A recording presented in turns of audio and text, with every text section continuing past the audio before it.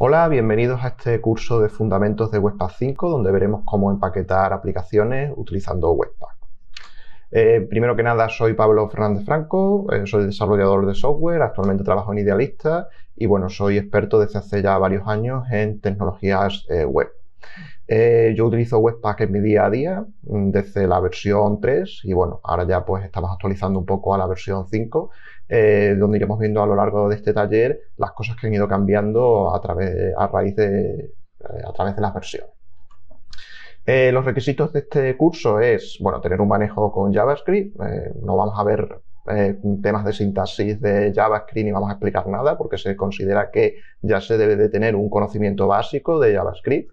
¿vale? Al final, Webpack, como ya veremos, es, una herramienta eh, configuration driven, es decir, eh, movido por configuración, y esa configuración se hace todo a través de objetos JavaScript, con lo cual mm, se considera requisito tener un manejo eh, básico medio de JavaScript.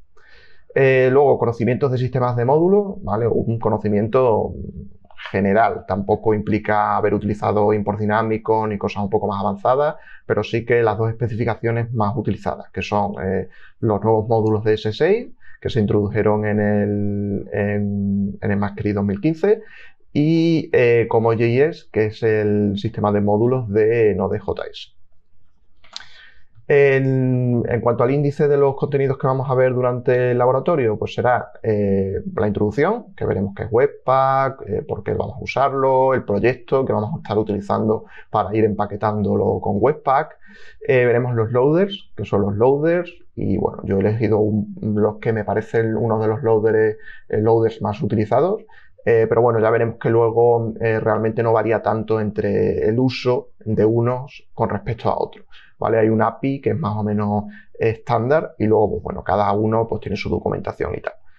veremos los principales, los que yo creo que son los más utilizados y los que yo también he utilizado más en los trabajos que he tenido.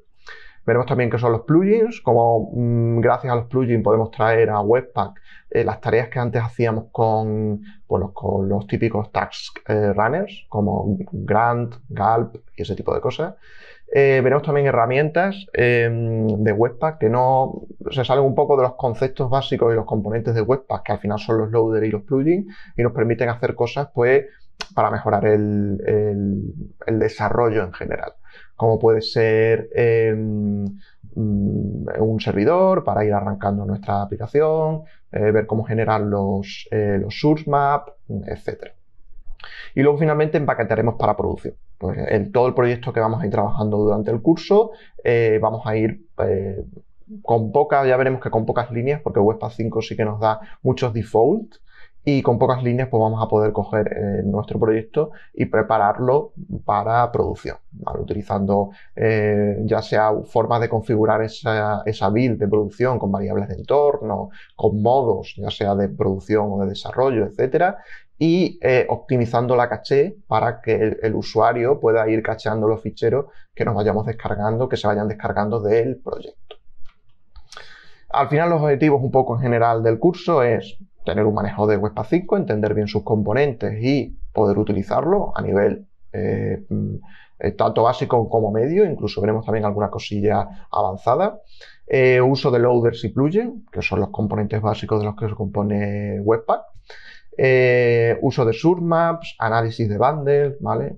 Análisis de, de bundles en aras de luego poder optimizarlo, el resolver que tiene Webpack, el de server, etc. Eh, y finalmente, pues configurar un proyecto para producción en pocas líneas. Tener claro bien todos los conceptos para luego extrapolarlo a cualquier tipo de, proyecto, porque al final la, la configuración para producción suele ser bastante, bastante estándar. Vale, pues hasta aquí los eh, contenidos que vamos a ver y los objetivos del curso.